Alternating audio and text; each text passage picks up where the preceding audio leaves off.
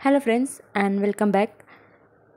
आज की वीडियो में हम बात करेंगे एक पोएम डेनियल थॉमस के द्वारा जो लिखी गई है पोएम इन अक्टूबर इस पोएम को बर्थडे पोएम भी कहा जा सकता है क्योंकि पोइट ने इसे अपने बर्थडे के टाइम पे लिखा था। This poem was compose in 1944 on the day of poet's birthday it was a thirtieth birthday and the lyric is counted as one of the finest of his birthday poems It is full of pleasant and happy atmosphere, a sense of complete joy. The poem has been included in his anthology of poem entitled Death and Entrances. इस poem में ten stanzas हैं और सारे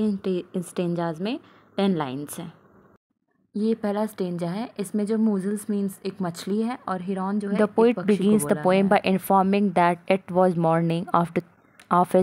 thirtieth birthday he feels कि स्वर्ग की तरफ़ जाने के लिए उसने अपने तीस साल पूरे कर लिए हैं। पोइट के अनुसार life life is a journey and हमारी बढ़ती हुई एज हमें हेवन की तरफ़ लेकर जाती है। जैसे ही वो सोकर उठता है he feels all element in nature greeting him on his birthday he heard various sounds of water seagulls fish and birds ये आवाज़ें उसे समुद्र की की तरफ़ से आती हैं और जो उसका नेवर है और जंगलों से भी आती हैं, क्योंकि वो समुद्र और जंगलों के साइड पे रहता है। जो मछलियाँ हैं म्यूजल्स एंड हिरोन जो बर्ड्स हैं, वो डिफरेंट साउंड्स क्रिएट कर रही थी और पोएट की लंबी उम्र की कामना के साथ साथ उसे विश भी कर रही थी। The waves of sea water and the voice of sea girls were inviting him on and they also seem to be praying for him The poet also hears the sound of sailing boats dashing against the wall of harbor. These walls were covered all over by the net of fishermen. Poet को बहुत खुशी होती है सब देख करके। And जब वो घर से बाहर निकलता है अर्ली मॉर्निंग में the people had not got up from their asleep and the whole town seems to be sleepy जब वो बाहर निकलता है तो पूरा टाउन जो रहता है वो स्लीप रहता है। कोई अपने घर से बाहर नहीं निकला रहता है। इन सेकेंड स्टेंजा पोइट तब भी बहुत ज़्यादा खुश है। अपने बर्थडे पे बहुत ज़्यादा इसलिए खुश है क्योंकि उसको नेचर के द्वारा विशेष मिली हैं। स्वीट्स म्यूज़िकल साउंड्स हैं। एंड जैसे ही वो उठता है he hear that water birds and birds of forest flying over the trees singing sweet songs उनकी आवाज़ें ऐसे लग रही थी, मानो वो पोइट का नाम ले रही हैं और वर्ल्ड में चारों तरफ़ फैला रही हैं। It was rainy autumn morning of October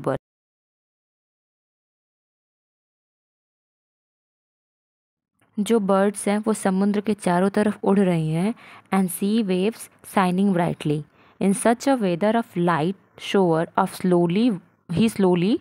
work out of the town and उसे अपने जो अभी तक उसकी लाइफ है और जो चाइल्डहुड है, उसके सारे इवेंट्स उसे याद आते हैं, जब ऐसे वो चलता है। पोइट उस रोड पर चल रहा है, जो शहर को जंगल से और समुद्र से अलग करती है। The birds were dividing into sea water in, to celebrate his birthday and thus they were expressing their great joy जैसे ही पोइट टाउन की गेट से बाहर जाता है the whole sea disappeared from his view the gate of town also were not visible but by that time the people had got up from their sleep in third stanza the poet comes out of gate of the town and walk on road जो शहर को जंगल से separate करती है और slowly slowly जो poet है, वो चल करके सर जॉन्स हिल के टॉप पर पहुँच जाता है और नेचर्स की सीन को देखता है और इन्जॉय करता है। यहाँ का मौसम बहुत प्लीजिंग है but poet is unable to decide whether it is summer और ऑटमन द लार्क लार्क यहाँ पे जो ये बर्ड्स हैं the lark are flying all around in cloud और जो उनके सॉन्ग्स हैं उससे ये इल्यूज़न हो सकता है कि वो स्प्रिंग सीज़न है, क्योंकि जो लार्क बर्ड्स हैं, वो स्काई में घूम रहे हैं चारों तरफ़, इससे ये अंदाज़ा लगाया जा सकता है कि ये स्प्रिंग सीज़न है। पोइट का कन्फ्यूज़न इसीलिए वो बहुत ज़्यादा कन्फ्यूज़ है कि कौन सा सीज़न है। ब्लैक बर्ड्स की आवाज़ें चारों तरफ़ फैल रही हैं, जो हिल के टॉप तक भी पहुँच रही हैं। The sun shine of the month of October makes the poet feels as if summer has arrived poet hills पर घूम रहा है और नेचर को एंजॉय कर रहा है particularly the bird songs resounding in air उसे ऐसा लगता है कि सारी चीज़ें सडनली हो रही हैं, जो उसके बर्थडे को सेलिब्रेट कर रही हैं। Along with sounds song of the bird he also hear the sound of the rain ठंडी हवाएँ चलना स्टार्ट होती हैं और हल्की बारिश उसे और भी अच्छा बना देती हैं। These drops were falling on town below the hills where he was standing even the forest around the town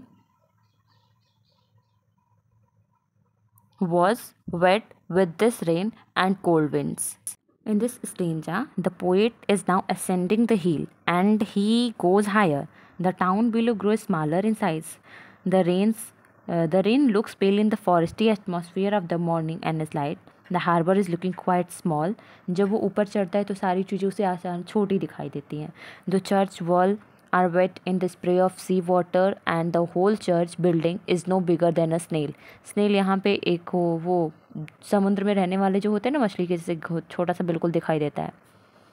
The towns of church create a impression on the horns of snail. Even the castle in town is not clearly visible. जब वो ऊंचाई पे चढ़ता है तो जो भी महल हैं, शहर के वो दिखाई नहीं देते हैं उनके जो कलर हैं, वो लाइट ब्राउन दिखाई देते हैं लाइक आउल की जैसे but the scene of hill is different it is pleasing because the flower वहाँ पे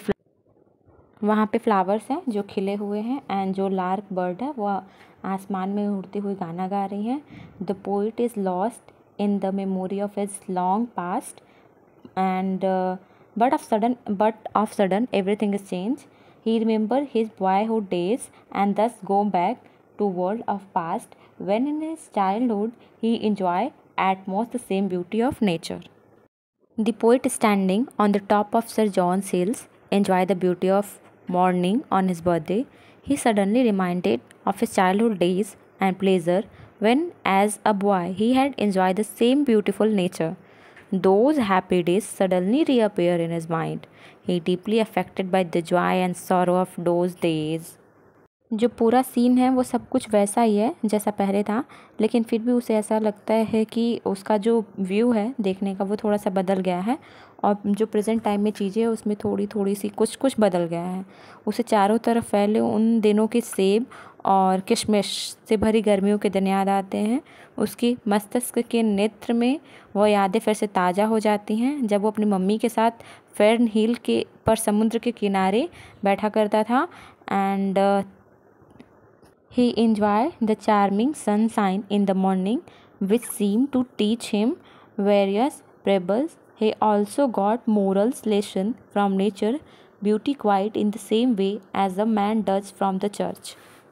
Poet की जो पर्सनालिटी है वो दोनों डिफरेंट हो चुकी है the poet as a child and the poet as a grown up man have been separated he realises कि उसका जो चाइल्डहुड था वो बहुत ज़्यादा प्लेजर देता था उसे the one when he actually experience and enjoy in it his past days and the other way when he is happy to remember.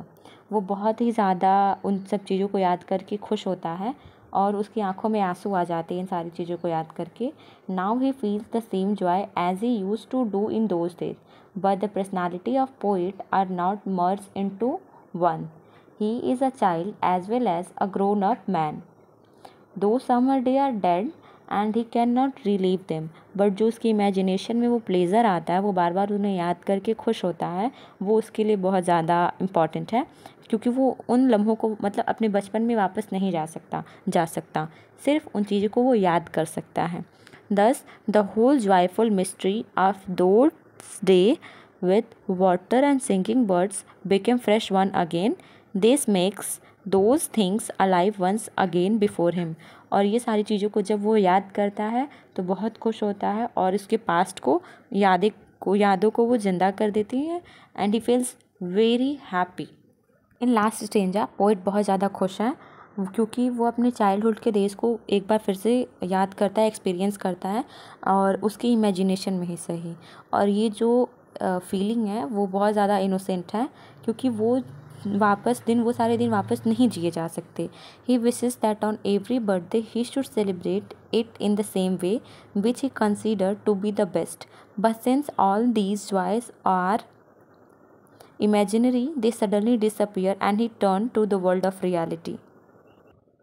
poet की जो मेंटल कंडीशन है वो तो पूरा चेंज हो जाता है एक बार फिर से। And the reality is that he is standing on Sir John seals and now it is almost noon the sun is shining over him Looking down on town, the poet noticed that the red dry leaves of autumn are spread all around on the whole town, seems to have been covered with them. The poet wishes कि ये जो weather है ये बहुत अच्छा है और वो अपना सारा बर्थडे इसी तरीके से मनाएगा नेचर के साथ और हिल्स के टॉप पे खड़ा होकर के थैंक यू फॉर वॉचिंग